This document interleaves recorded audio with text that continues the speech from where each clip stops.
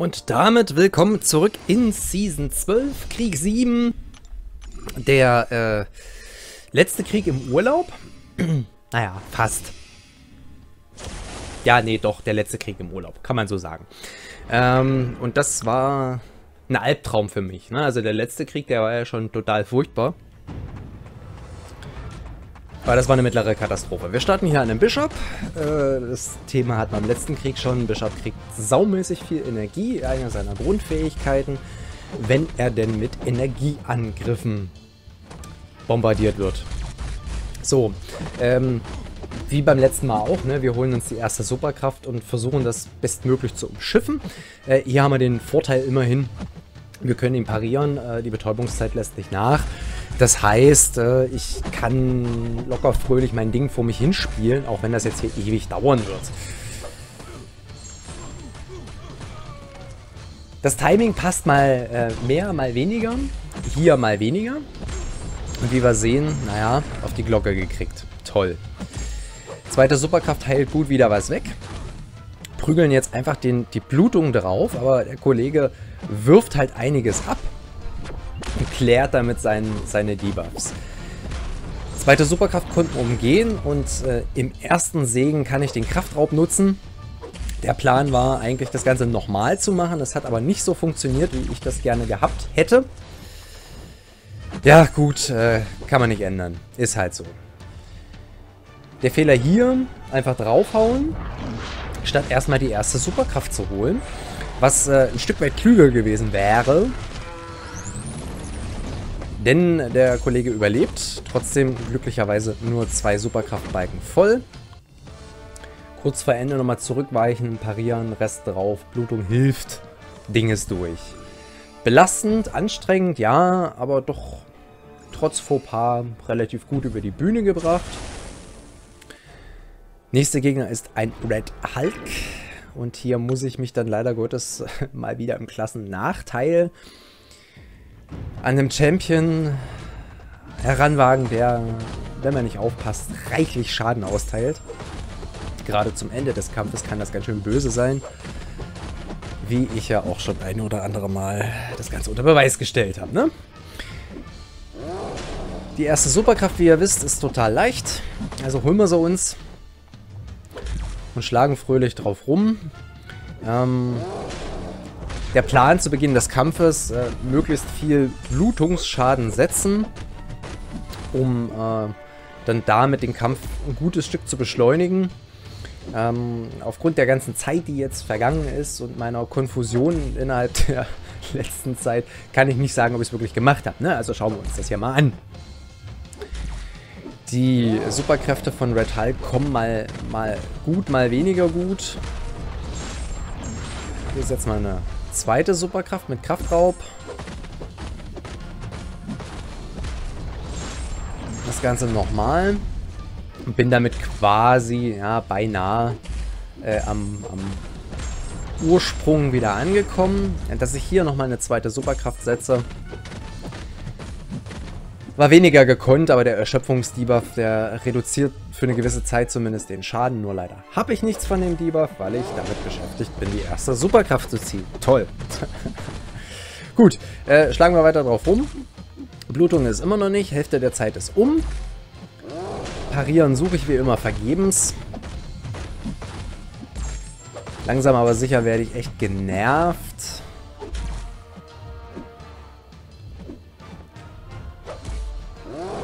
Kollegen hier lassen wir dann nochmal die erste Superkraft rausholen, schlagen ihn, Fenster eine zweite Superkraft drauf. Schön Kraftraub. Regenerieren ist dann jetzt der Plan. Umgehen die Heavy. Schlagen ihn nochmal. Gleiches Spielchen wie vorhin. Kein Kraftraub mehr. Erschöpfungsdebuff gesetzt. Diesmal klappt das allerdings sehr gut mit der ersten Superkraft. Und äh, quasi Vollgeheil gehen wir aus dem Kampf auch wieder raus. Also war etwas belastend mit 90 Treffern, ja. Aber es äh, hat funktioniert.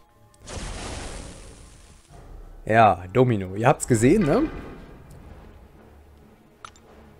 Das ist ein fieses Miststück hier auf diesem Knoten. Ein echt fieses Miststück. A, weil sie sich eh relativ schlecht parieren lässt. B, weil die Betäubungszeit nachlässt, wenn man sie denn mal pariert kriegt. Und mit Symbiote macht das im Grunde genommen überhaupt keinen Spaß. Denn äh, die dumme Sau kann ausweichen. Und wie? Ne? Auch hier hat der Gegner wieder den ähm, heute frühen Namen, ne? Sorry. Den Global Buff mit dem Ausweichen für Größe S Champion gesetzt, was das Ganze hier für Domino ne, zusätzlich anstrengend macht. Pech habe ich erstaunlich selten gekriegt, glücklicherweise. Also ist Ausweichen relativ easy machbar. Hier in diesem Parry, Parieren, Parry, habe ich gemerkt, okay, Betäubungszeit ist jetzt schon sehr, sehr, sehr kurz. Sie weicht verdammt oft aus. Es ist äh, sehr, sehr belastend. Sie kommt nicht so, wie ich das gerne hätte. Ich traue mich dann auch nicht wieder ranzugehen. Ne? Jetzt hat es funktioniert und statt durchzuziehen, ja, 5er-Kombo, pfeife ich eine dritte Superkraft drauf. Ich Vollpfosten. Naja, gut. Was soll's. So, Domino und Blutrausch. Kann gut gehen, muss aber nicht. Ne? Sie kann den Schaden reduzieren, die Fähigkeit hat sie. Sie kann die Zeit verkürzen, die Zeit hat sie auch. Ich nur leider nicht mehr. Und ihr seht, das Ausweichen das ist echt behindert an der einen oder anderen Stelle. Hier habe ich es dann leider Gottes versäumt. Auf die Glocke gekriegt. Zweite Superkraft ist er ausgewichen. Das fand ich nicht nett. Und sie weicht aus wie nichts Gutes. Das ist ein bisschen belastend. Noch ist der Kampf aber machbar. So, wir weichen der ersten Superkraft aus, rennen ins Intercept. Haben jetzt so gut wie äh, nichts mehr äh, auf Verfügung. Und jetzt muss ich es, weil Pech auf den Block nehmen und der Blockschaden haut mich dann raus. Ungünstig. Ausweichen hätte nicht funktioniert. Das hätte ich auf die Fresse gekriegt, weil Pech. Blockschaden zu hoch. Mist. Also lasse ich mir mal helfen. Und starte einige Zeit, eine ganze Zeit später, muss man sagen, dann auf meinem regulären Weg weiter. Wir waren im Zoo. Rostock, sehr schön, kann ich sehr empfehlen. Ähm, ich glaube, ich habe die einzige Stelle in diesem scheiß Zoo gefunden, in dem ich kaum minimal Empfang hatte. War ein bisschen Gesuche. Ich habe gestanden, es war sonnig um mich herum ein Arsch voll Wespen, die natürlich in genau dieser Zeit der Meinung waren, dass ich besonders lecker bin. Also frisst Corvus hier schon mal Superkräfte, Luftschläge helfen mir nicht. Fresse die nächste Superkraft. Das mit dem Ausweichen ist in der Tat äußerst stressig. Hier ist er zwei oder dreimal hintereinander ausgewichen, was mir dann auch wiederum das Genick gebrochen hat. K.O toll. An einem beschissenen Miles Morales. Ne? Oh. Wer Kills hier in diesem Abschnitt auf diesem Weg mitnimmt, ist selber schuld. So schwer ist es ja eigentlich auch gar nicht. Das heißt, äh, totale spielerische Inkompetenz meinerseits, die ich hier abgeliefert habe. Zu meiner Entschuldigung. Frau nörgelte an mir rum, warum ich denn das Handy im Zoo in der Hand habe.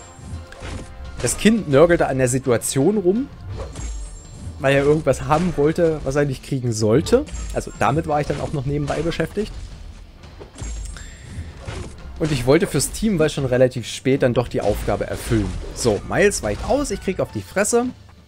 Das Parieren im dritten Abschnitt der ersten Superkraft hat nicht funktioniert, krieg also wieder auf die Fresse. Und die zweite Superkraft rettet dann den Kampf. Puh. So, ich wollte es schnell hinter mich bringen bisschen mehr Konzentration ist der Kampf hier eigentlich kein Thema. Oft genug habe ich bewiesen, dass äh, auch mit so wenig TP ich diesen Kampf ganz locker über die Bühne bringen kann. So. Jeder kann sich jetzt denken, was passiert. Parieren Heavy ist die Methode, das ist eigentlich gar nicht so schwer. Äh, das kann ich im Stehen und im Laufen genauso gut.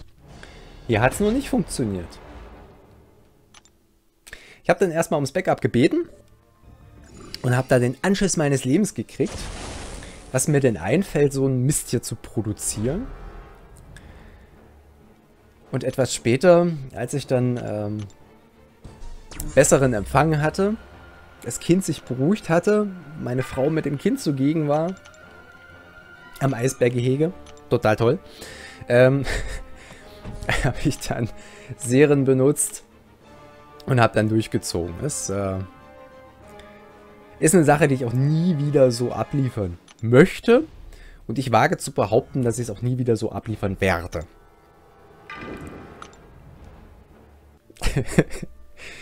ja, ist äh, kein sehr schönes Aushängeschild. Aber auch schlechte Zeiten gehören dazu. Und wenn man so viele Niederlagen in der Season schon mitnimmt, warum soll man sich da auch selbst mal nicht anschließen? Ist eine blöde Ausrede. Und meine ich auch nicht so, wie ich es gesagt habe. So, ähm, zurück zum Kampf als solches. Erste Superkraft kann ich zwar ausweichen, aber wie ihr gesehen habt, dann doch nicht. Zweite Superkraft ist die alte ausgewichen. Das fand ich besonders nett. Ändert aber nichts an der Sache, dass ich den Kampf noch irgendwie über die Bühne kriegen muss. Also, jetzt versuchen wir die zweite Superkraft zu ziehen. Das gelingt nur mäßig. Jetzt hat es funktioniert. Na, endlich. Blockschaden mäßig. Das hielt sich in Grenzen. Und mit Parry Heavy bin ich dann doch jetzt halbwegs im Flow drin, möchte ich behaupten. Nochmal, zweite Superkraft. Die hat dann auch gekrittet und getroffen. Und dann war gut. Ah. Das war wahrscheinlich die schwerste Geburt, die ich im Krieg irgendwie jemals hinter mich bringen musste. Unterwegs. Ja, also nicht irgendwie an, am Boss rumkräpeln oder so ein Dreck. Nein, unterwegs. So, voll heilen. Iceman, na, Frostschaden. Das tickt ganz gut. Ist, äh, den CP-Balken beobachtet, das sind 510 Schaden pro Tick, also 1020 pro Sekunde. Und das läuft halt eine ganze Weile.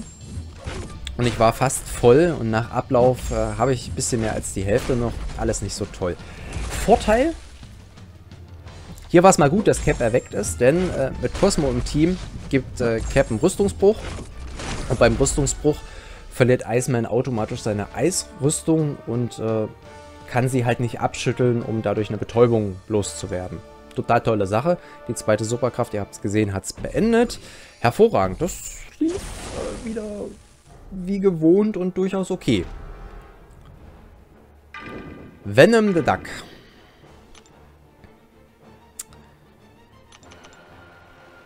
Als Defender finde ich den jetzt nicht besonders anspruchsvoll, wenn ich ehrlich sein soll.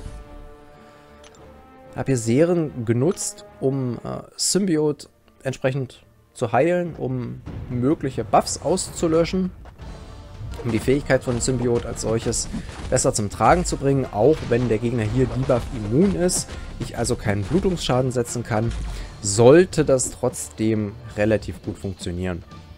Seine erweckte Fähigkeit ist nice to have. Wenn man sie hat, ist schön, weil äh, seine, sein Timer, der, der schwarze Timer, der oben rechts läuft, halt schneller läuft. Nein, schneller läuft er nicht. Er startet halt den Beginn des Kampfes mit einer gewissen Anzahl. Läuft halt nicht bei Null. Wie ihr seht, die erste Superkraft von ihm ist sehr, sehr leicht zu holen. Das ist nicht weiter schwierig.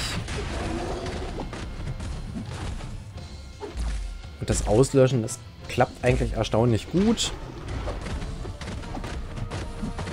Auch wenn das jetzt nicht das Nonplusultra ist. Aber es hilft halt, ne? Gut, eine Minute ist um. Zwei Drittel vom Gegner sind weg. Und wir schlagen uns im Prinzip genauso durch, wie es soll. Wir passen es möglichst mit der ersten Superkraft so ab, das war was auslöschen. Wir haben ein bisschen auf die Fresse gekriegt gerade eben. Äh, nicht so toll, aber ist jetzt auch nicht weiter wild. Den Kampf bringe ich über die Bühne, wie ihr seht. Und dann ist gut. Ende Peng. Puh. So. Handy wieder einstecken. Klariert und das entsprechend auch gemeldet. Und dann ging es los.